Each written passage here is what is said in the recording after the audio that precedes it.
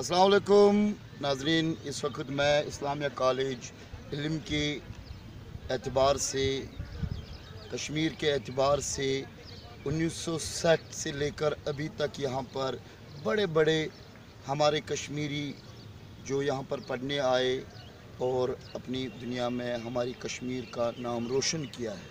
اور کھیل کے اعتبار سے جہاں پر ہم بیٹھے ہیں یہ ایک وسیع میدان ہے۔ یہ ہماری کشمیر کی اور خاص کر سری نگر کی پہچان ہے۔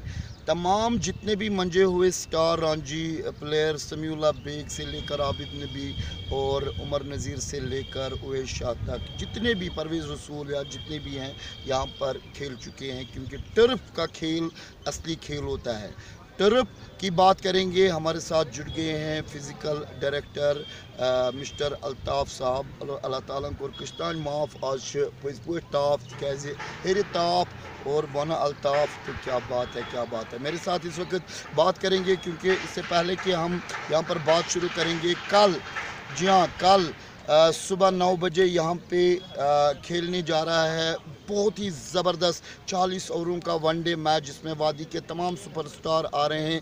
اسی اسنا میں یہاں پر میں آیا ہوں اور یہاں پر میں نے دیکھی ہے کہ الطاف صبح سے کھڑے ہیں۔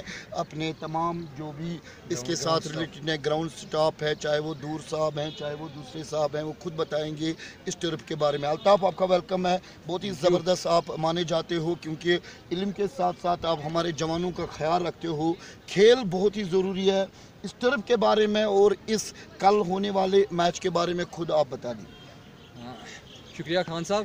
یہ جیسا کہ آپ نے فرم، درست فرمایا یہ ٹرف کا کھیل جو ہوتا ہے کرکٹ میں، ٹرف کا کھیل بہت ہی اہم کھیل ہوتا ہے۔ ٹرف پہ کھیلنا ایک وہ ریئل کرکٹ ہے اچھا کرکٹ ہے۔ اور انٹرنیشنل یا پھر نیشنل یا رانجی جو بھی آپ جس بھی اچھے کرکٹ کی آپ اسٹینڈرڈ کرکٹ کی بات کریں گے تو وہ ٹرف پہ ہی کھیلا جاتا ہے۔ جی۔ ایسا نہیں کہ جیسے ہمارے یہاں پہ میٹنگ پہ چھوٹے چھوٹے سے وہ بیس اوور وہ میچز کھیلے جاتے ہیں اس کو کرکٹ نہیں کھیلتے ہیں اس کو کرکٹ نہیں کہتے ہیں اسے بچے بگڑ جاتے ہیں اس کے اسے پلیئر نہیں بنتے ہیں۔ پلیئر جو بنانے ہوتے ہیں وہ کرکٹ ٹرف پہ ہی بنتے ہیں۔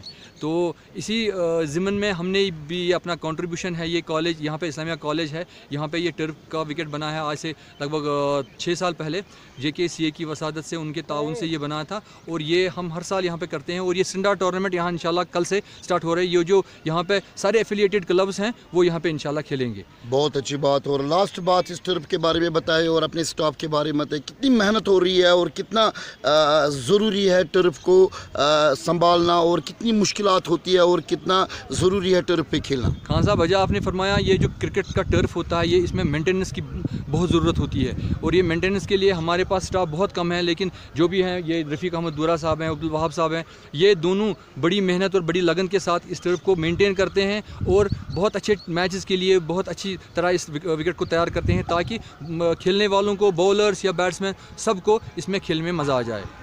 Thank you very much Altaf صاحب اور یہ تھے الطاف صاحب جو بتا رہے ہیں کہ کل سے یہاں پر اصلی کرکٹ کا آغاز ہوگا اور آپ لوگوں کو یہاں پر دعوت دی جاتی ہے اچھی کرکٹ دیکھنے کا بہت ہی اچھے ماحول کے ساتھ۔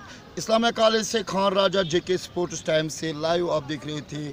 کل کے میچ کی جے کے سی کی طرف سے ٹر پہ بہت ہی زبردست کھیل اور دلوں کا میل۔ Thank you very much